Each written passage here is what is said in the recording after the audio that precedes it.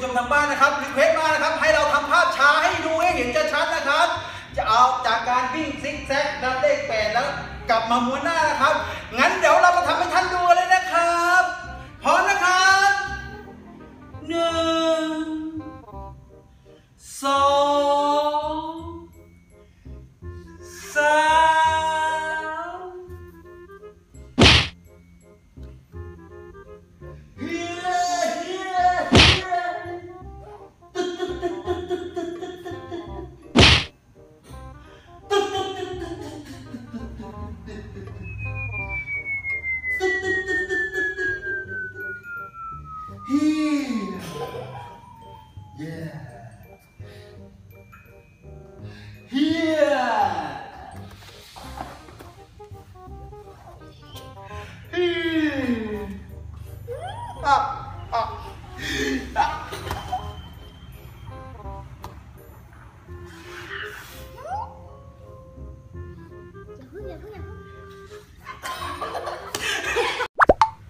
สวัสดีครับพบกับเราสองคนนะครับผมคุณหนึ่งยิมนาสติกครับพบกับน้ำพีชยังฟิลเตอร์ฮาร์เบอร์แลนด์จากช่องพีชนิดตือหรือพี่เด็ดติดดาวค่ะ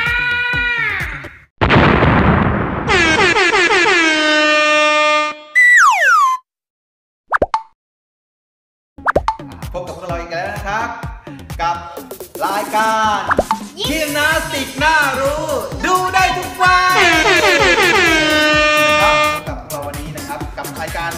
ยิมนาสติกน่ารู้ดูได้ทุกวันนะครับที่เราจะพูดถึงครับอ่ายิมนาสติกในอ่า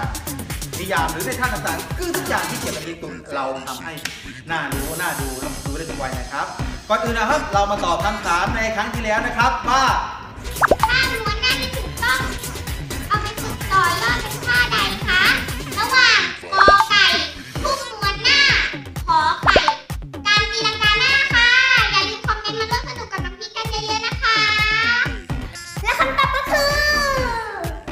ท่า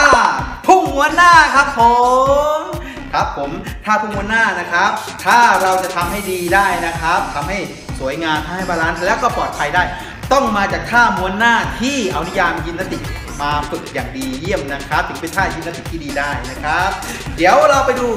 ตัวอย่างท่าพุ่งม้วนหน้ากันเลยครับเอาละครับ เดี๋ยวเรามาดูท่าพุ่งม้วนหน้าจากน้องพิกกันเลยนะครับ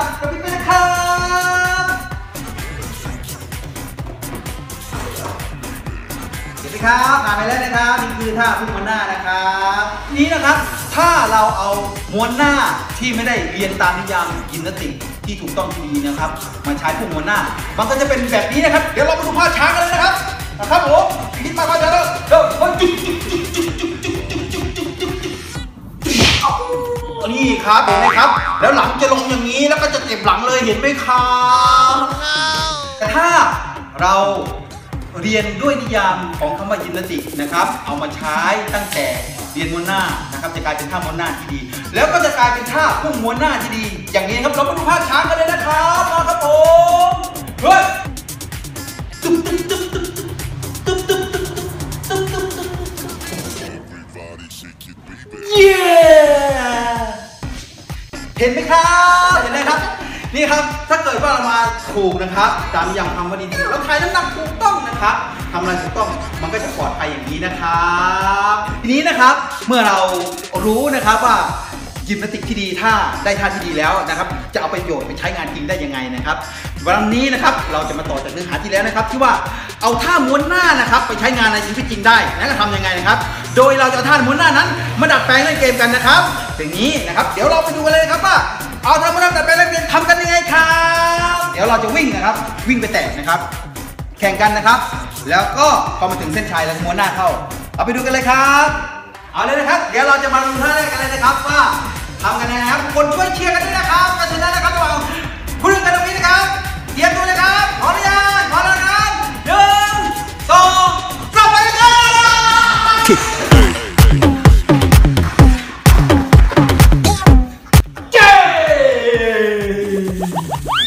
ทีนี้นะครับ เราจะมาเอาท่าม้วนหน้านะครับทำเป็นเกมในท่าที่สองนะครับ โดยนะครับเราจะมีคุณยนต์เป็นกรรมการหลักนะครับผมจะนิ่งยุติธรรมมากครับหุ่นยนต์นี้นะครับนะครับเราจะวิ่งแตะสลับนะครับ เฉพาะตรงเส้นที่มีหุ่นเท่านั้นนะครับสามครั้งนะครับมาดูนะครับว่าใคร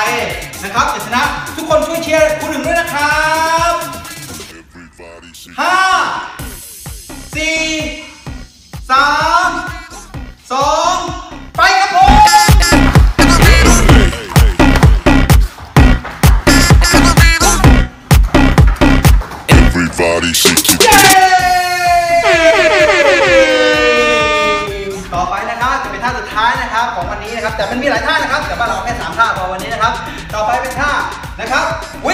ซิกแซกคือวิ่งเป็นเลขแปดนะครับ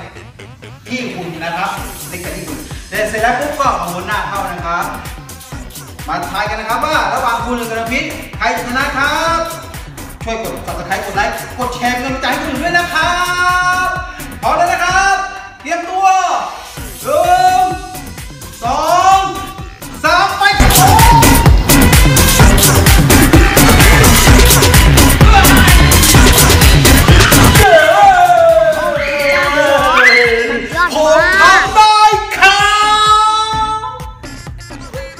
นะครับเห็นไหมนะครับว่านะครับ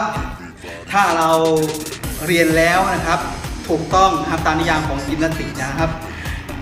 แล้วเราจะสามารถเอาท่ายิมนาสติกทุกท่ามาใช้งาน